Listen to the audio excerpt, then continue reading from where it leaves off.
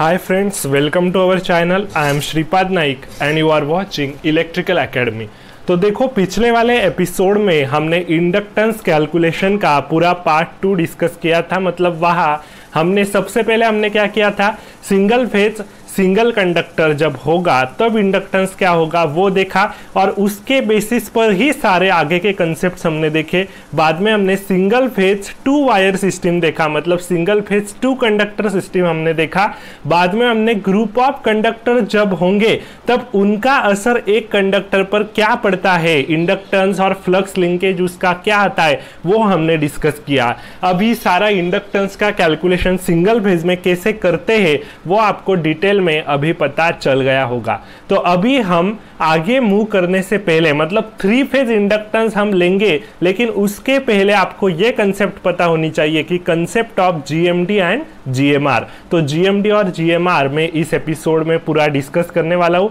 और अभी आप कहेंगे कि सिंगल फ़ेज़ इंडक्टेंस के कुछ न्यूमेरिकल्स आप करा दो तो उसके लिए आपको वरी करने की ज़रूरत नहीं है। वो जो भी न्यूमेरिकल्स होंगे, वो हम एक साथ डिस्कस करेंगे जीएमडी जीएमआर पे, फिर हम डिस्कस करेंगे थ्री फ़ेज़ इंडक्टेंस पे कैपेसिटेंस पे। सब कुछ हम न्यूमेरिकल्स के आपको सीरीज़ देंगे, ठीक है? न्यूमेरिकल्स की सीरीज़ हम आपको प्रोवाइड करेंगे। सबसे पहले ये सारे कंसेप्ट आपको मैं सिखा देता हूँ और बाद में फिर मैं आपको न्यूमेरिकल सीरीज़ प्रोवाइड करूँगा, ठीक है?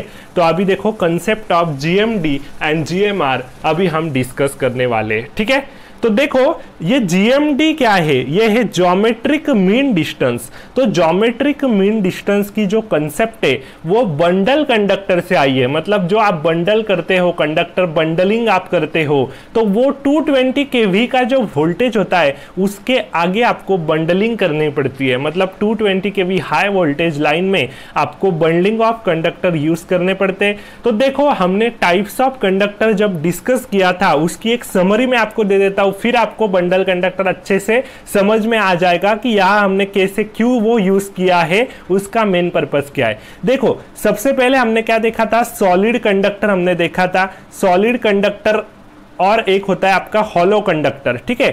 सिंगल कंडक्टर में आपके ये दो टाइप्स आते हैं, ठीक है? सिंगल कंडक्टर हमने सबसे पहले जब डिस्कस किया था, तब सॉलिड क्या होता है और हॉलो कंडक्टर क्या होता है, वो मैंने आपको बताया था। तो सॉलिड कंडक्टर में क्या होता है? पूरा मटेरियल भरा होता है और हॉलो कंडक्टर में आपका इनसाइड वाला जो मटेरियल रहता है, बीच वाला, वो आपका हॉलो रहता है, बाकी का ये मटेरियल भरा पड़ा रहता है। बराबर है? ये हमने बताया था।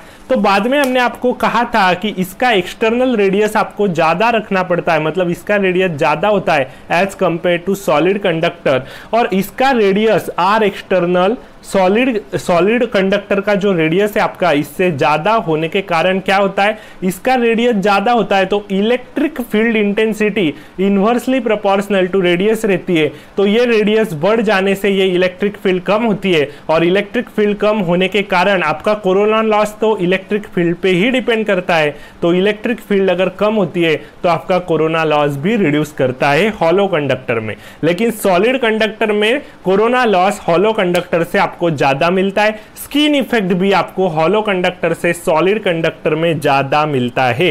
क्योंकि हॉलो कंडक्टर में इनसाइड कोई मटेरियल नहीं है तो इनसाइड कोई फ्लक्स लिंकेज नहीं है और इनसाइड कोई करंट भी नहीं है। तो इसका स्किन इफ़ेक्ट और इसका कोरोना लॉस सॉलिड कंडक्टर से थोड़ा कम रहता है। लेकिन हॉलो कंडक्टर आप सिर्फ़ बस बार जो रहते हैं तो बस बार में आप हॉलो कंडक्टर का यूज़ करते हो। बाकी आप सॉलिड कंडक्टर ही प्रिफर करते हो, ठीक है? लेकिन जैसे जैसे आपका वोल्टेज बढ़ते जाता है, तब ये जो आपके कोरोना लॉस और आपका स्किन इफ़ेक्ट है, वो ज़्यादा डोमिनेटिंग हो जाते हैं आपके लिए। तो एट दैट टाइम आपको क्या करना पड़ता है? आगे के कंडक्टर का यूज़ करना पड़ता है, मैंने आपको बताया था।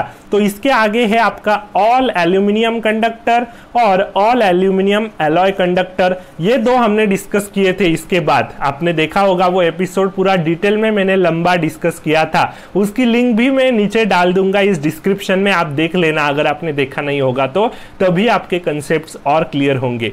तो all aluminium conductor and all aluminium alloy conductor ये स्ट्रैंडेड कंडक्टर्स रहते। स्टैंडर्ड कंडक्टर मतलब नंबर ऑफ़ ऐसे छोटे छोटे कंडक्टर्स अब अगर आप बंच करते हो तो ऐसे बंच आप कंडक्टर करके जो आपका एक कंडक्टर ओवरऑल बनता है तो उसको मतलब बंचिंग आप क्रिएट करते हो तो उसको आप स्टैंडर्ड कंडक्टर कहते हो, और उसमें एल्यूमिनियम आप प्रिफर करते हो या तो फिर एलॉय ऑफ़ एल्यूमिनियम आप प्रिफर करते हो? तो इसका असर क्या पड़ता है? इसका असर पड़ता है कि स्किन इफ़ेक्ट आपका जो है, वो आपका रिड्यूस हो जाता है, क्योंकि हर कंडक्टर हर एक छोटे छोटे कंडक्टर हमने यूज़ किए तो सारे कंडक्टर के आउटर साइड में आपका करंट तो डिस्ट्रीब्यूट होगा ही, ज़्यादा करंट तो फिर ओवरऑल आपको करंट मिलेगा उस कंडक्टर पे ऑन एन एवरेज आपको करंट अच्छे से डिस्ट्रीब्यूटेड मिलेगा। तो इसका skin effect as compare to solid conductor और हॉलो कंडक्टर कम हो जाता है, क्योंकि यहाँ आपका यूनिफॉर्म करंट का तो डिस्ट्रीब्यूशन हो रहा है, बराबर है? मतलब यूनिफॉर्मली डिस्ट्रीब्यूट हो रहा है तो स्किन इफ़ेक्ट तो आपका रिड्यूस हुआ। अगर कोरोना लॉस के कंपैरिजन में अगर देखें सिंगल कंडक्टर के कंपैरिजन में तो सिंगल कंडक्टर के कंपैरिजन में इसकी इलेक्ट्रिक फ़ील्ड कम होती है और इसका कोरोना लॉस भी कम होता है, ठीक है? लेकिन इसका एक डिसएडवांटेज हमने देखा था कि इसकी टेंसाइल स्ट्रेंथ आपकी कम रहती है। तो टेंसाइल स्ट्रेंथ अगर कम होती है तो आपने देखा होगा टॉवर का स्ट्रक्चर टॉवर के स्ट्रक्चर में ऐसे कंडक्टर्स आपने रखे हैं तो यहाँ आपको ऐसा सैग मिलता है। मतलब ये कंडक्टर ऐसे झुक जाते हैं ग्राउंड की तरफ़, ऐसा सैग आपको मिलता है अगर इसकी टेंसाइल स्ट्रेंथ कम होगी तो। तो टेंसाइल स्ट्रेंथ कम होने के कारण आपका ये सैग इंक्रीज हो जाता है और ये सैग ऐसा आपके लिए बेनिफिशियल नहीं है। सैग इंक्रीज नहीं होना चाहिए, ज़्यादा सैग आना नहीं चाहिए। तो फिर आपको इसीलिए क्या करना पड़ता है, ये टेंसाइल स्ट्रेंथ बढ़ानी पड़ती है। इसीलिए हमने देखा था एसीएसआर कंडक्टर हम यूज़ करते ये भी एक कंपोजिट स्टैंडर्ड कंडक्टर का टाइप रहता है। कंपोजिट स्टैंडर्ड कंडक्टर का टाइप एसीएसआर हमने डिस्कस किया था। तो ए सी एस आर में हमने क्या किया था, ऐसे ही बंचिंग करते हैं कंडक्टर की। लेकिन ये जो बीच वाला कंडक्टर रहता है, बीच वाला तो वो कंडक्टर में ये बीच वाला जो मटेरियल है तो बीच वाला कंडक्टर आप स्टील का बनाते हो। मतलब स्टील मटेरियल आप यहाँ प्रीफर करते हो, बाकी का एल्यूमिनियम रहता है। तो ये स्टील आप अंदर प्रीफर करने की वजह से क्या होता है, आपका जो सैग है वो कम हो जाता है, क्योंकि टेंसाइल स्ट्रेंथ यहाँ थोड़ी बढ़ जाती है स्टैंडर्ड कंडक्टर के हिसाब से देखा तो। और कोरोना लॉस यहाँ भी आपका कम होता है, लेकिन कोरोना लॉस तो कम होता है सिंगल कंडक्टर के रिस्पेक्ट में आपको कोरोना लॉस कम होता है। लेकिन ओवरऑल अगर यहाँ आप देखें ओवरऑल अगर देखें तो यहाँ आपको ये कंडक्टर जैसे आप ऐसे डिस्ट्रीब्यूट कर रहे तो ये ऐसे यूनिफॉर्म डिस्ट्रीब्यूशन आपको नहीं मिल रहा है। मतलब यूनिफॉर्मिटी ऐसी मेंटेन नहीं रह रही है, आप देख रहे हैं या बराबर है? तो अगर उसके हिसाब से देखा तो थोड़े फार एजेस तो यहाँ फॉर्म हो गई, और जहाँ एजेस फॉर्म होते, वहाँ इलेक्ट्रिक फ़ील्ड ज़्यादा रहती है, ये मैंने सबसे पहले ही आपको सिखाया था।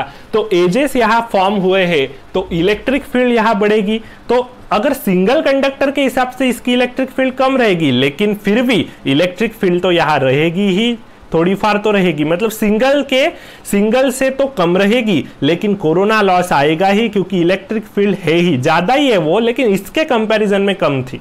तो अगर कोरोना लॉस आपको यहाँ भी मिल रहा है तो कोरोना लॉस आपके लिए डिसएडवांटेजनियस है आपको बताए। तो ये कोरोना लॉस आपको मिनिमाइज करना है। तो कोरोना लॉस को मिनिमाइज करने के लिए ही हमारा मेन मोटो है कि हम बंडल कंडक्टर की तरफ़ आगे बढ़े, ठीक है? मतलब जैसे जैसे आपका वोल्टेज बढ़ जाता है तो वो आपके लिए डोमिनेटिंग हो जाता है। तो कोरोना लॉस को आपको रिड्यूस करना है। तो कोरोना लॉस को रिड्यूस करने के लिए हाई वोल्टेज जो आपके लाइन रहते हैं टू ट्वेंटी के वी और टू ट्वेंटी के वी के अबो वाले हाई वोल्टेज लाइन जो रहते हैं ट्रांसमिशन लाइन्स वहाँ हम ज़्यादातर बंडल कंडक्टर ही प्रीफर करते हैं। बंडल कंडक्टर से हमारा फ़ायदा हमें यही मिलता है कि कोरोना लॉस वहाँ कम हो जाता है, बहुत कम हो जाता है, ठीक है?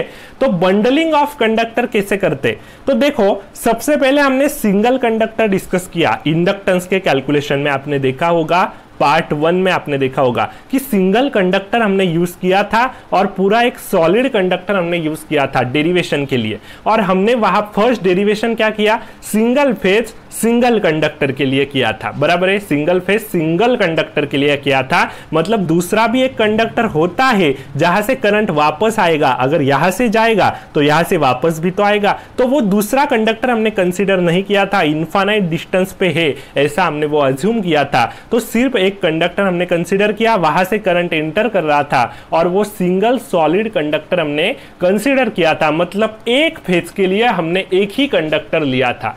अभी यहाँ भी अगर हमें सिंगल फ़ेज़ सिस्टम की बात करूँ बंडल कंडक्टर में तो सिंगल फ़ेज़ सिस्टम के लिए ही यहाँ एक फ़ेज़ के लिए हम एक से ज़्यादा अगर कंडक्टर यूज़ करते, एक फ़ेज़ के लिए एक से ज़्यादा कंडक्टर दो, तीन, चार, पाँच, आप जैसे आपके अकॉर्डिंग आप यूज़ कर सकते। तो यहाँ दो कंडक्टर मैंने एक ही फ़ेज़ के लिए यहाँ इस्तेमाल किया। तो दो कंडक्टर एक फ़ेज़ के लिए मैं इस्तेमाल कर रहा हूँ तो मुझको यहाँ फ़ायदा क्या मिल रहा है? देखो, ये एक ही फ़ेज़ है। इसे मैं कहता हूँ फ़ेज़ और एक न्यूट्रल आपका रहता है, आपको पता है। सिंगल फ़ेज़ में क्या होता है? फ़ेज़ और न्यूट्रल रहता है। अगर इसके हिसाब से देखें तो फ़ेज़ कंडक्टर में मैंने इनसाइड दो सॉलिड कंडक्टर रखे हैं। और न्यूट्रल के लिए भी फिर अगर मैंने फ़ेज़ के लिए दो लिए कंडक्टर तो न्यूट्रल के लिए भी दो ही लूँगा। सिंगल फ़ेज़ की बात कर रहा हूँ, इसीलिए सिंगल फ़ेज़ में फ़ेज़ और न्यूट्रल होता है, आपको पता है। तो हम फ़िलहाल सिंगल फ़ेज़ पे चल रहे हैं, इसलिए मैं सिंगल फ़ेज़ के हिसाब से आपको ये सिखा रहा हूँ। बराबर है थ्री फ़ेज़ में जाएँगे हम आगे। लेकिन आपको ये कंसेप्ट क्लियर होना ज़रूरी है। तो देखो, यहाँ दो कंडक्टर दो कंडक्टर मैंने लिए एक ही फेस के लिए। तो न्यूट्रल के लिए भी मुझे दो कंडक्टर लेने पड़ेंगे। अगर दो कंडक्टर में से करंट एंटर कर रहा है तो दो कंडक्टर में से बाहर भी तो करंट आएगा। जितना करंट जाएगा, उतना बाहर भी तो आएगा। तो यहाँ न्यूट्रल आप जो रख रहे तो न्यूट्रल के लिए भी मुझे दो कंडक्टर का इस्तेमाल करना पड़ेगा। बराबर है? तो आप आप कहेंगे कि आपने ऐसा क्यों किया? तो देखो हमारा मेन मोटो क्या था? हमने देखा था कंपोजिट स्टैंडर्ड कंडक्टर अभी हमने जो रिवाइज किया, उसमें हमने देखा कि कोरोना लॉस तो है ही। वो तो हमें मिनिमाइज करना है। वो मिनिमाइज हुआ है। सॉलिड कंडक्टर जो हमने सिंगल यूज़ किया, उससे वो मिनिमाइज हुआ है एसीएसआर में। लेकिन पूरा तो मिनिमाइज नहीं हुआ है। हमें और मिनिमाइज करना है कोरोना लॉस को, क्योंकि कोरोना लॉस के इफेक्ट्स बहुत ही डोमिनेटिंग रहते हैं। कोरोना लॉस मिनिमाइज करना ही पड़ता है। कोरोना लॉस और स्किन इफ़ेक्ट मिनिमाइज करना हमारा मेन मोटो है, ठीक है?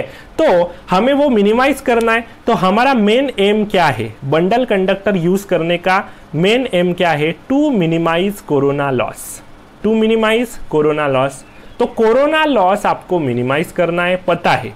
तो कोरोना लॉस मिनिमाइज अगर आपको करना है तो कोरोना लॉस किस पर डिपेंड रहता है, ये भी आपको पता होना चाहिए। तो कोरोना लॉस प्रोपोर्शनल होता है इलेक्ट्रिक फ़ील्ड के। इलेक्ट्रिक फ़ील्ड अगर ज़्यादा होगी तो कोरोना लॉस ज़्यादा होगा। ये कम होगी तो कोरोना लॉस कम होगा। बराबर है? और इलेक्ट्रिक फ़ील्ड जो होती है, वो इन्वर्सली प्रोपोर्शनल टू रेडियस रहती है। Electric field inversely proportional to radius रहती है। तो ये रेडियस अगर मैं बढ़ा दूँ, किसी कंडक्टर का रेडियस अगर मैं इंक्रीज कर दूँ तो मेरी इलेक्ट्रिक फ़ील्ड आपकी कम होगी। तो इलेक्ट्रिक फ़ील्ड मेरी कम होगी, कब होगी? जब ये इफ़ेक्टिव रेडियस में बढ़ाऊँगा। इफ़ेक्टिव रेडियस मतलब काम का रेडियस जो कंडक्टर के आजू बाजू में फ्लक्स लिंक करने में आपको काम में आने वाला है, वो रेडियस बराबर है? तो इफ़ेक्टिव रेडियस इसीलिए मैंने इसे कहा, काम का है हमारे, बराबर है? तो इफ़ेक्टिव रेडियस में इंक्रीज अगर करूँगा तो मेरी इलेक्ट्रिक फ़ील्ड कम होगी। तो इलेक्ट्रिक फ़ील्ड अगर मेरी अभी कम होगी तो मेरा कोरोना लॉस भी तो कम होगा। तो कोरोना लॉस कम करने के लिए हमें ये करना है। ये क्या है? इफ़ेक्टिव रेडियस जो है आर इफ़ेक्टिव इफ़ेक्टिव रेडियस मुझे इंक्रीज करना है। और इफ़ेक्टिव रेडियस इंक्रीज करने के लिए मैं क्या यूज़ करूँगा? बंडलिंग ऑफ़ कंडक्टर यूज़ करूँगा। बंडलिंग ऑफ़ कंडक्टर तो इफ़ेक्टिव रेडियस इंक्रीज हो रही है क्या? यह देखो, जो मैंने आपको बताया कि बंडल कंडक्टर आप यूज़ करते हैं नंबर ऑफ़ सॉलिड कंडक्टर्स आप रखते हैं नंबर ऑफ़ सॉलिड कंडक्टर्स आप रखते दो, तीन, चार आपके हिसाब से आप रखते हैं, और एक फेस के लिए उतने कंडक्टर्स आप रखते मतलब एक सिंगल कंडक्टर आप लेते नहीं है नंबर ऑफ़ सिंगल कंडक्टर्स आप लेते हैं और उनका एक फ़ेज़ बनाते हैं। बराबर है? ऐसा आप कर रहे हैं मतलब नंबर ऑफ़ कंडक्टर्स हो जाने के कारण क्या हो रहा है? ये रेडियस आपका इंक्रीज हो रहा है। ओवरऑल रेडियस देखो अभी इंक्रीज हो रहा है कि नहीं? ओवरऑल रेडियस आपका इंक्रीज हो रहा है इफ़ेक्टिव रेडियस हम इसे कहते हैं, वो इंक्रीज हो रहा है। और इफ़ेक्टिव रेडियस इंक्रीज होने के कारण आपका क्या हो रहा है? इलेक्ट्रिक फ़ील्ड कम हो रहा है और इलेक्ट्रिक फ़ील्ड कम होने के कारण आपका कोरोना लॉस भी कम हो रहा है। तो कोरोना लॉस मिनिमाइज हो रहा है कि नहीं? बंडलिंग ऑफ़ कंडक्टर के लिए। तो 220 केवी लाइन और उसके अबो वाले में बंडलिंग ऑफ़ कंडक्टर हमें प्रीफर करना कंपलसरी है कोरोना लॉस मिनिमाइज करने के लिए। तो अभी देखो, अभी मैंने क्या किया, आपको ये कंसेप्ट मुझे अभी एक्सप्लेन करनी है कि जीएमडी और जीएमआर क्या है। तो अभी इसके हिसाब से ही ये कंसेप्ट आपकी आती है। इसीलिए मैंने वहाँ ये सब कुछ आपको बताया। आप कहेंगे कि आपने टाइम पास किया, आपने हेडिंग दिया था जीएमडी जीएमआर वो एक्सप्लेन करो अच्छे से। तो वो एक्सप्लेन करने के लिए ये भी तो पता होना चाहिए। इसीलिए सबसे पहले मैंने पूरा कंसेप्चुअली आपको वो बताया शॉर्ट में मैंने लिया था वो, लेकिन फिर से एक बार बता दिया, ठीक है? अभी आपको कोई परेशानी नहीं होने वाली है। तो जीएमडी जीएमआर अभी हम शुरू करने जा रहे तो अभी देखो, अभी मैंने क्या किया, अभी हम बात कर रहे सिंगल फ़ेज़ टू कंडक्टर के लिए बात कर रहे हैं। बराबर है? सिंगल फ़ेज़ टू कंडक्टर के लिए मैं अभी बात करने वाला हूँ। तो अभी ये सिंगल फ़ेज़ टू कंडक्टर्स में ले रहा हूँ। बराबर है सिंगल फ़ेज़ सिस्टम में दो ही कंडक्टर होते हैं एक फ़ेज़ वाला होता है, एक न्यूट्रल वाला होता है। तो फ़ेज़ में मैं नंबर ऑफ़ कंडक्टर्स यहाँ लूँगा, बराबर है? तो सबसे पहले मैं यहाँ हेडिंग दे रहा हूँ, सबसे पहले मैं यहाँ हेडिंग दे रहा हूँ। Single phase single phase two conductor bundle system single phase two conductor bundle system single phase, two conductor bundle system. मतलब एक फ़ेज़ में मैं दो कंडक्टर यूज़ कर रहा हूँ, इसीलिए single phase, two conductor bundle system. अभी इसका इंपैक्ट क्या होगा? अभी देखो, जब आप सिंगल कंडक्टर यूज़ करते थे, तब एक ही कंडक्टर था एक फ़ेज़ में तो उससे ही करंट पूरा गुजरता था आई करंट गुजरता था, और बाहर भी आने के लिए एक ही कंडक्टर आप रखते थे तो उससे आपका आई करंट बाहर आता था। बराबर है? ये तो आपको पता ही होगा। तो अभी ये तो कंसिडर ही मत करो। आप न्यूट्रल अभी हमारे पास मतलब न्यूट्रल इन्फानाइट डिस्टेंस पे ऐसा आप कंसिडर करो फ़िलहाल के लिए, क्योंकि आपको एक फेस से ही मैं अभी सबसे पहले एक्सप्लेन करता हूँ। अभी वो आपको पता चलेगा तो बाद में फिर हम सारा डिस्कस कर लेंगे। तो देखो, अभी मैं क्या कर रहा हूँ? अभी मैं कर रहा हूँ कि दो कंडक्टर में ले रहा हूँ सिंगल कंडक्टर दो सिंगल कंडक्टर मैंने लिए और ये एक फ़ेज़ के लिए लिए। मतलब ये इतना मेरा एक फ़ेज़ है, ठीक है? इतना एक फ़ेज़ है। Single conduct single phase system में एक फ़ेज़ होता है, एक न्यूट्रल होता है तो इतना मेरा फ़ेज़ है। अभी दो कंडक्टर मैंने लिए इनसाइड दो सिंगल कंडक्टर तो इसका रेडियस मान लो आर है और इसका रेडियस भी मान लो आर है। दोनों का रेडियस सेम है, ऐसा आप अज्यूम करो, ठीक है? मान लो। तो अभी दोनों का रेडियस सेम है और दोनों कंडक्टर के बीच का डिस्टेंस सेंटर टू सेंटर ही हम हमेशा डिस्टेंस मेजर करते हैं, ये हमेशा ध्यान में रखो। तो दो कंडक्टर के बीच का डिस्टेंस है डी ऐसा आप मान लो, ठीक है? तो दोनों के बीच का डिस्टेंस है डी और दोनों का रेडियस है आर ठीक है? दो कंडक्टर मैंने एक फ़ेज़ के लिए यूज़ किए। अभी इस फ़ेज़ से आपका आई करंट जाने वाला है और न्यूट्रल से आई करंट बाहर आने वाला है। तो न्यूट्रल अभी हम कंसिडर कर ही नहीं रहे। हम सिर्फ़ इतना देख रहे हैं कि इस फ़ेज़ से आई करंट मेरा एंटर कर रहा है। तो इस फ़ेज़ से आई करंट एंटर कर रहा है और मैंने अभी दो कंडक्टर यूज़ किए। तो यहाँ से आई बाय टू जाएगा और यहाँ से भी आई बाय टू जाएगा। बराबर है? आई बाय टू यहाँ से गया आई बाय टू यहाँ से गया। आपको यह अच्छे से पता चल गया होगा अभी तक तो। ठीक है? तो अभी देखो अभी आप जो फॉर्मूला यहाँ इस्तेमाल करते हो मतलब अगर आपने यहाँ आपको कहा गया कि इसका इंडक्टेंस निकालो, इसका, इस फ़ेज़ का इंडक्टेंस निकालो, क्या आएगा? तो इंडक्टेंस अगर आपको बताया गया तो इंडक्टेंस का फॉर्मूला सिंगल कंडक्टर के लिए सिंगल फ़ेज़ के लिए सबसे पहला डेरिवेशन क्या आया था? Mu naught mu R by two pi L N D by R dash इतना आया था, आपको पता होगा। तो यहाँ क्या है? यहाँ हम क्या आर डैश लेंगे? यहाँ क्या हम जी एम आर लेंगे? नहीं। क्योंकि आर डैश सिर्फ़ सिंगल कंडक्टर के लिए हम लेते थे। सिंगल सॉलिड कंडक्टर जब होगा तब आर डैश लेते थे और सिंगल हॉलो कंडक्टर जब था, तब हम क्या लेते थे? आर लेते। बराबर है। तो अभी हमने दो सिंगल कंडक्टर यूज़ किए, सिंगल सॉलिड कंडक्टर एक ही फ़ेज़ के लिए। तो इसका रेडियस और इसका रेडियस तो अलग अलग है। मतलब सेम रेडियस है, लेकिन इसका अलग है, इसका अलग है रेडियस। बराबर है। दोनों के रेडियस है। तो दोनों के रेडियस अगर आपको दिखाई दे रहे तो इस, यहाँ आपको उनका कंट्रीब्यूशन तो देना पड़ेगा। ये एक फ़ेज़ दोनों कंडक्टर से हमने बनाया है। तो दोनों कंडक्टर के बीच में जो ज्योमेट्रिक मीन डिस्टेंस होगा, वही आप हिसाब से, उसके हिसाब से ही आप कंसीडर करेंगे।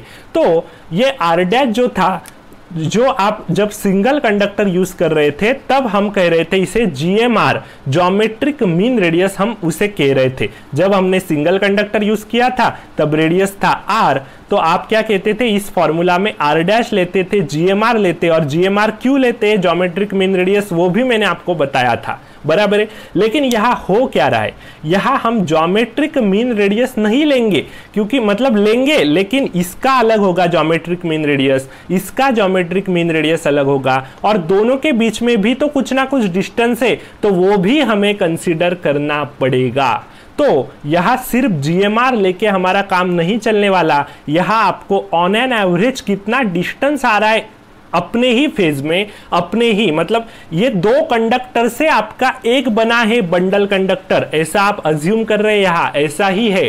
तो ऐसा अगर है तो उसके बीच वाले का मतलब उसके बीच में जो आपका इफ़ेक्टिव डिस्टेंस है इफ़ेक्टिव ज्योमेट्रिक मीन डिस्टेंस वो निकालेंगे कैसे? वो हमें निकालना पड़ेगा। तो यहाँ अगर बंडल कंडक्टर होता है तो इस, यहाँ आर डैश नहीं आएगा। तो फॉर्मूला सिर्फ़ चेंज क्या होगा? यहाँ आपका होगा सेल्फ जीएमडी हम इसे कहेंगे।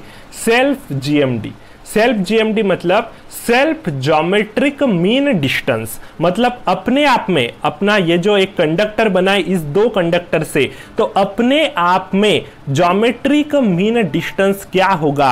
वो हमें निकालना पड़ेगा, इसका ओवरऑल आपको ज्योमेट्रिक मीन डिस्टेंस निकालना पड़ेगा। तो आर डैश जो आप जीएमआर लेते थे सिंगल कंडक्टर के लिए, अगर बंडल कंडक्टर न्यूमेरिकल आता है बंडल कंडक्टर पर तो फिर एट दैट टाइम यहाँ आपको क्या लेना पड़ेगा? सेल्फ जीएमडी लेना पड़ेगा। ठीक है? तो सेल्फ जीएमडी आप यहाँ कंसीडर करेंगे, ठीक है?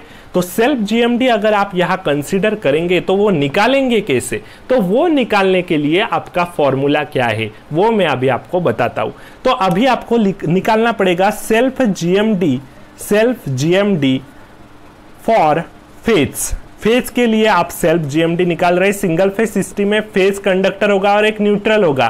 तो फ़ेज़ के लिए आप सेल्फ जीएमडी कैसे निकालेंगे? तो आपको सेल्फ के लिए, आपको सेल्फ जीएमडी फ़ेज़ के लिए आपको निकालना है। तो आप कैसे निकालेंगे? तो सबसे पहले आप क्या करेंगे? डिस्टेंस ऑफ़ अभी देखो, यह दो कंडक्टर मैंने एक फ़ेज़ के लिए यूज़ किए। तो ये, इसको मैं बोलता हूँ कंडक्टर वन इसको मैं बोलता हूँ कंडक्टर टू ठीक है? तो आप सब कुछ देखेंगे कि distance of conductor one distance of conductor one with it conductor one का खुद का अपने हिसाब से डिस्टेंस क्या है? क्या है? आर डैश है। आप यहाँ आर डैश लेते हो जीएमआर लेते हो। बराबर है? जीएमआर क्यों लेते हो आपको पता है। तो ठीक है आर डैश मैंने लिया मतलब point seven seven eight eight eight times R अभी आपको distance of conductor one with respect to two भी तो लेना पड़ेगा, क्योंकि ओवरऑल हमें डिस्टेंस निकालना है तो वो भी लेना पड़ेगा। तो distance of conductor one with respect to conductor two क्या है? इसका फ़र्स्ट का विथ रिस्पेक्ट टू टू क्या डिस्टेंस है? डी डिस्टेंस आपको दिखाई दे रहा है। तो डी मैंने लिया। फिर आपको इसके बारे में भी सोचना पड़ेगा, क्योंकि इस फ़ेज़ में ये भी तो आ रहा है। तो इसका डिस्टेंस अपने खुद के रिस्पेक्ट में आपको देखना पड़ेगा। वो क्या होगा? Distance of conductor two with respect to itself distance of conductor two with respect to itself क्या होगा? उसका रेडियस और जो हम आर डैश लेंगे जीएमआर लेंगे। और distance of distance of conductor two with respect to अभी कंडक्टर वन भी तो आपको लेना पड़ेगा। तो with respect to conductor one उसका डिस्टेंस क्या होगा? आर डैश सॉरी डी होगा। बराबर है? इसके बीच में। इसका, इसके रिस्पेक्ट में डिस्टेंस कितना है? Centre to centre distance D है। बराबर है? तो अभी ये सारे डिस्टेंस हमने लिए, उसका जोमेट्रिक मीन हमें लेना पड़ेगा। जोमेट्रिक मीन डिस्टेंस हमें निकालना है। तो उनका जोमेट्रिक मीन क्या आएगा? उनका जोमेट्रिक मीन लेने के लिए आपको करना क्या है? ये सारे डिस्टेंस आपको मल्टीप्लाई करने R dash into D multiply by R dash into D और रेस टू क्या करना है? वन बाय कितने डिस्टेंस आपने लिए है? कितने डिस्टेंस लिए? चार डिस्टेंस तो वन बाय फोर आपको करना है। तो R dash into D into R dash into D raise to one by उतने डिस्टेंस ठीक है? जितने डिस्टेंस आपने लिए। तो अभी इसको आप कैसे लिख सकते? इसको मैं यहाँ लिख रहा हूँ, ठीक है? यहाँ मैं लिख रहा हूँ आर डैश इंटू डी क्या है ये? R dash into D into R dash into D ये हमारा सेल्फ जीएमडी है, क्या है?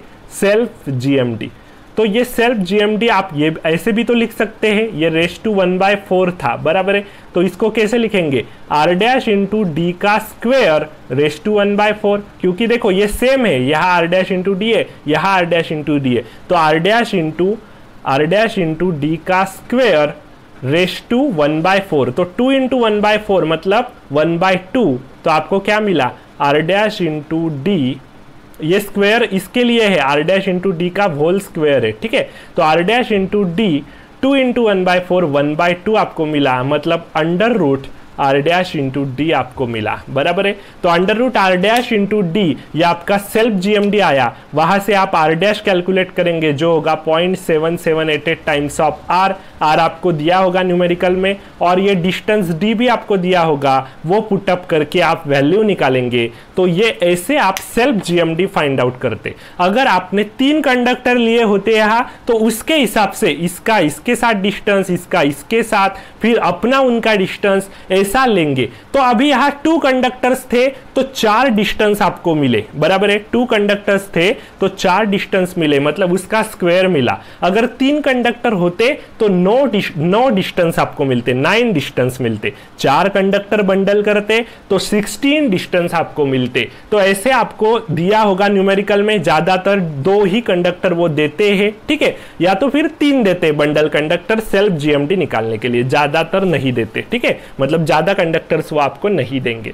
तो सेल्फ जीएमडी आप ऐसे निकालेंगे और उसकी वैल्यू इस डिनोमिनेटर में आप पुट करेंगे, ठीक है? तो सेल्फ जीएमडी क्या है?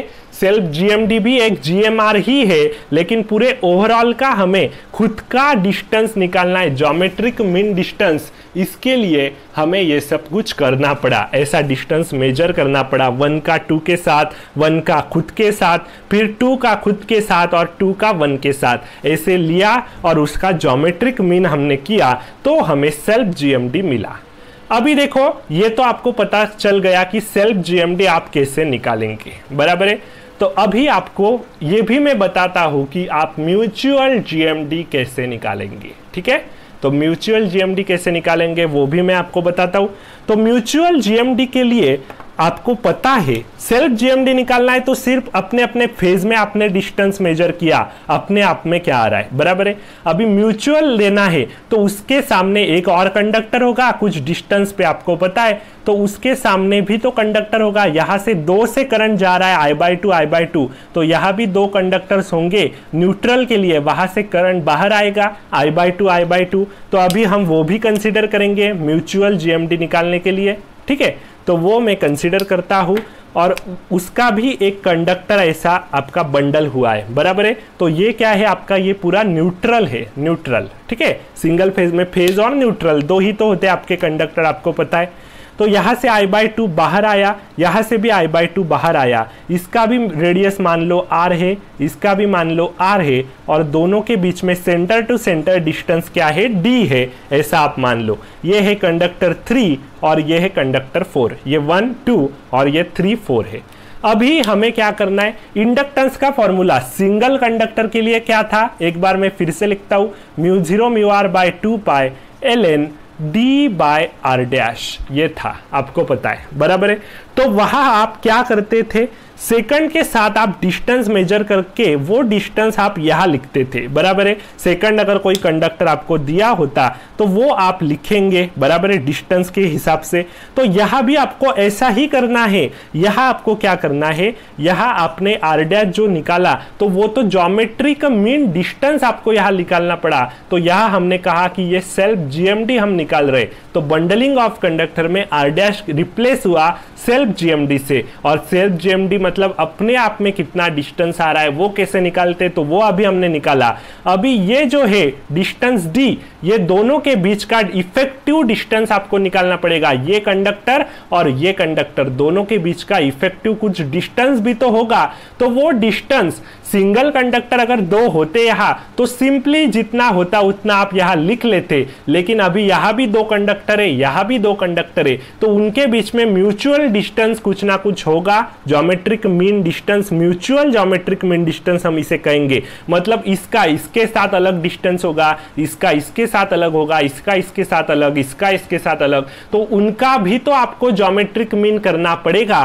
तो वो होगा आपका म्यूचुअल जीएमडी वो क्या होगा आपका? म्यूचुअल ज्योमेट्रिक मीन डिस्टेंस जो आप यहाँ न्यूमरेटर पर लिखेंगे। तो आपका फॉर्मूला बंडलिंग ऑफ़ कंडक्टर में लिए कंडक्टर के लिए कैसे चेंज होगा? बंडलिंग ऑफ़ कंडक्टर के लिए आपका फॉर्मूला यहाँ म्यूचुअल जीएमडी आएगा, यहाँ सेल्फ जीएमडी आएगा। बराबर है? तो इंडक्टेंस का formula single phase two conductor के लिए क्या था? सिंगल फ़ेज़, टू वायर के लिए फॉर्मूला था mu zero, mu R by pi, L N D by R dash. अगर आपका रेडियस दोनों का सेम होता है, दो कंडक्टर का तो आपने सेकंड न्यूमेरिकल में सेकंड डेरिवेशन में वो देखा होगा पिछले वाले पार्ट में। तो यहाँ क्या होगा? Mu zero, mu R by pi, L N mutual GMD by self GMD ठीक है? तो अभी म्यूचुअल जीएमडी इनका कैसे आएगा? तो वो भी तो आपको निकालना पड़ेगा। तो अभी हम म्यूचुअल जीएमडी निकालते कि म्यूचुअल जीएमडी कैसे निकालते तो म्यूचुअल जीएमडी निकालना भी कोई बड़ी बात नहीं है, क्योंकि आपको वन का थ्री के साथ डिस्टेंस दिया होगा ऑलरेडी वन का फोर के साथ दिया होगा, फिर टू का थ्री के साथ दिया होगा न्यूमेरिकल में टू का फोर के साथ भी दिया होगा। तो सारे डिस्टेंस आपको दिए होंगे।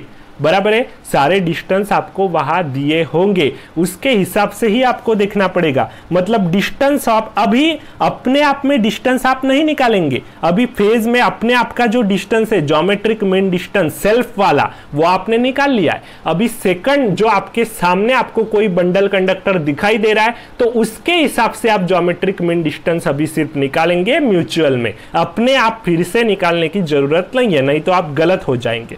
तो अभी वन का थ्री के साथ है तो D one three multiply by one का फोर के साथ क्या है? D one four multiply by two का थ्री के साथ डी टू थ्री और टू का ही फोर के साथ डिस्टेंस डी टू फोर जो आपको दिया होगा न्यूमेरिकल में, वो डिस्टेंस आप लिखेंगे और रेस टू वन बाय उतना डिस्टेंस मतलब यहाँ वन बाय फोर आ जाएगा। तो ये आपका हुआ म्यूचुअल जीएमडी तो म्यूचुअल जीएमडी कैलकुलेट करने का तरीका भी ऐसा ही है, लेकिन अपने आप में फिर मत कैलकुलेट करो। अपने आप में जो आप कैलकुलेट करेंगे डिस्टेंस वो सेल्फ जीएमडी होगा, वो आप पहले निकाल लेंगे, बाद में फिर आप म्यूचुअल जीएमडी अब उसका इसके साथ ऐसे निकालेंगे डिस्टेंस के हिसाब से। बराबर है? तो अभी आपको पूरा पता चल गया होगा कि इंडक्टेंस निकालना है तो mu zero mu R by single phase two wire होगी। तो mu zero mu R by pi L N D by R dash रहता है सिंगल कंडक्टर के लिए। लेकिन बंडल कंडक्टर्स अगर यूज़ किए होंगे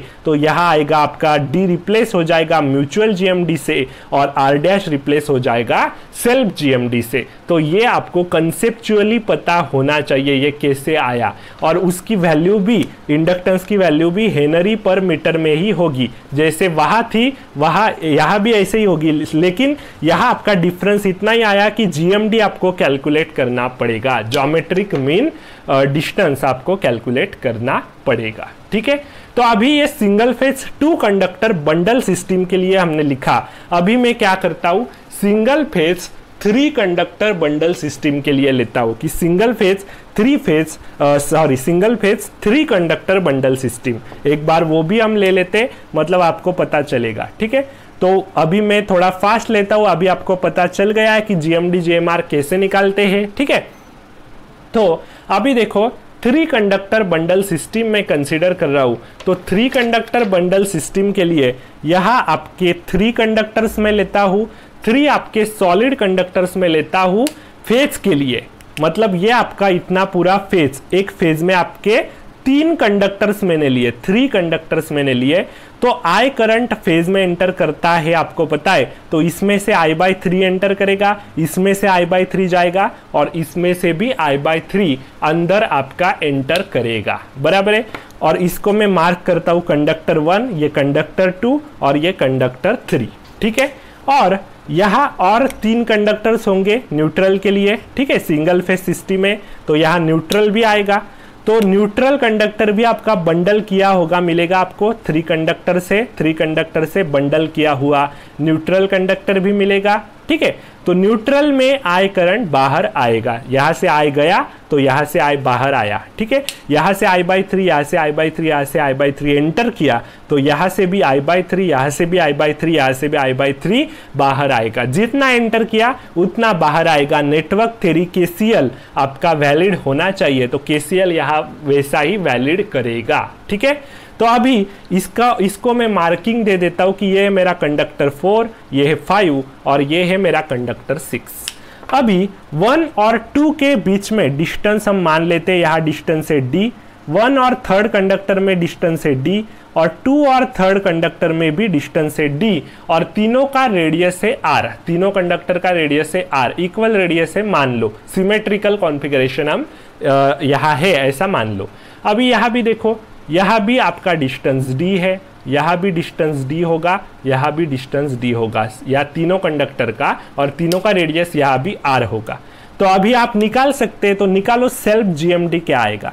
सेल्फ जीएमडी मतलब उसी अपने एक बंडल कंडक्टर में, अपने आप में जो डिस्टेंस आता है जोमेट्रिक मीन डिस्टेंस उसे आप कहते हैं सेल्फ जीएमडी तो वन का अपना खुद का कुछ डिस्टेंस होगा, जो कि उसका रेडियस होगा, जो आर डैश मैंने लिया। मल्टीप्लाई बाय वन का थ्री के साथ कुछ डिस्टेंस होगा, जो है डी मल्टीप्लाई बाय वन का टू के साथ आपको कुछ डिस्टेंस मिल रहा है डी ठीक है? तो वन का थ्री के साथ डिस्टेंस वन का टू के साथ डिस्टेंस डी मुझे मिला।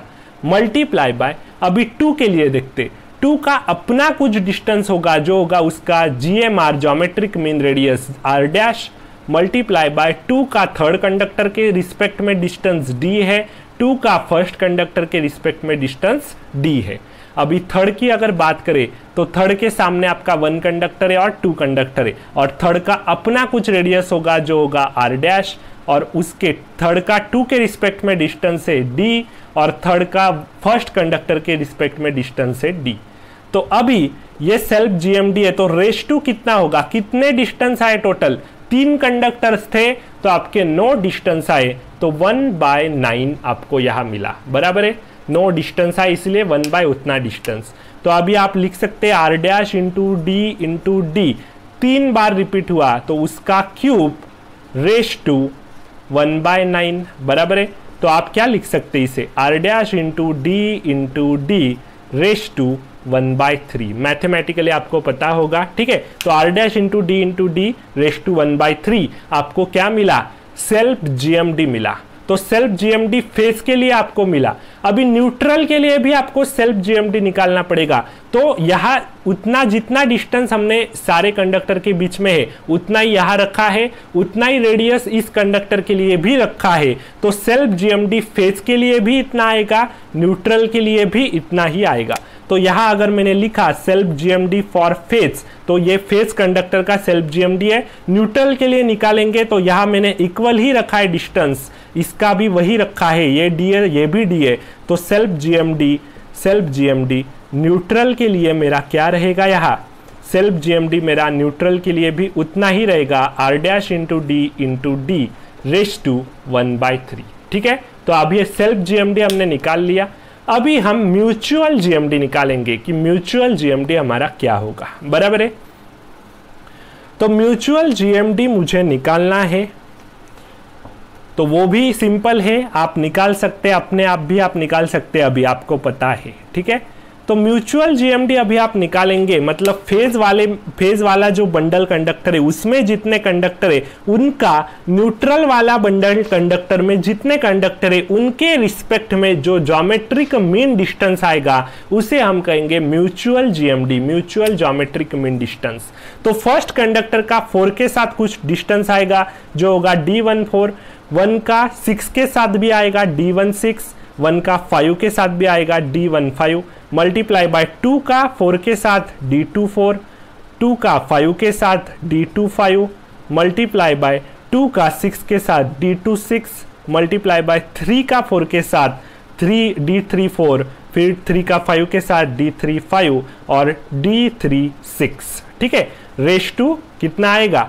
कितने डिस्टेंस है टोटल आपके आपके पास नो डिस्टेंस है तो ratio two one by nine आएगा। और ये जो डिस्टेंस होगा वन का फोर के रिस्पेक्ट में वन का फाइव ऐसा आपको दिया होगा न्यूमेरिकल में आता है तो। लेकिन न्यूमेरिकल में म्यूचुअल जीएमडी अगर पूछा गया तो सिर्फ़ वो टू कंडक्टर वाले बंडल सिस्टम में ही पूछा जाएगा। Single phase two conductor bundle system के लिए। वो आपने, आपके लिए आसान होगा। वहाँ आप ट्रिग्नोमेट्री निकाल के भी डिस्टेंस फाइंड आउट कर सकते हैं। अगर दिया नहीं होगा तो। ऐसा वो नहीं देंगे। थ्री कंडक्टर वाले बंडल सिस्टम में वो क्या देंगे आपको? फार फार तर वो आपको दे सकते कि सेल्फ जीएमडी निकालो। तो सेल्फ जीएमडी तो आप निकाल सकते हैं, ठीक है? तो गेट के अकॉर्डिंग ये ऐसे ही पूछा जाएगा। और यूनिवर्सिटी एग्ज़ाम में भी ज़्यादातर ऐसे ही पूछा जाता है, ठीक है? तो सेल्फ जीएमडी और म्यूचुअल जीएमडी की कंसेप्ट अभी सिंगल फ़ेज़ के टू कंडक्टर थ्री कंडक्टर इस्तेमाल करके, करने के बाद भी सारा इस्तेमाल हमने किया और आपको अच्छे से डिटेल में अभी बता दिया है, ठीक है? तो अभी अगर आपको पूछा गया, यहाँ आपका एक कंडक्टर था और यहाँ था, उसमें तीन थे आपके। यहाँ फेस था, यहाँ आपका न्यूट्रल कंडक्टर था और उसमें तीन कंडक्टर की बंडलिंग की थी। तो यहाँ इसका फेस कंडक्टर का इंडक्टेंस कुछ आया, बराबर है? वो क्या आया था? Mu zero, mu R by two pi L N, mutual GMD by self GMD mutual GMD by self GMD बराबर है? Mutual GMD by self GMD ये आया था। वैसे ही आपने न्यूट्रल के लिए इंडक्टेंस निकालेंगे आप न्यूमेरिकल में, ठीक है? तो वो भी ऐसा ही आएगा, इतना ही। तो अभी आपको टोटल इंडक्टेंस पूछा गया तो आप क्या करेंगे? वही आप इस्तेमाल करेंगे अपना फॉर्मूला टोटल इंडक्टेंस और ये सीरीज़ में है सिंगल फ़ेज़ यहाँ से करंट जाएगा, यहाँ से बाहर आएगा। तो यहाँ जितना इंडक्टेंस है, उतना यहाँ भी होगा। तो दोनों इंडक्टेंस आप ऐड कर देंगे। L phase plus L neutral तो आपको टोटल इंडक्टेंस भी मिल जाएगा। तो ऐसा कंसेप्ट अच्छे से आपको ये पता होना चाहिए कि कैसे आया, क्यों आया, ठीक है?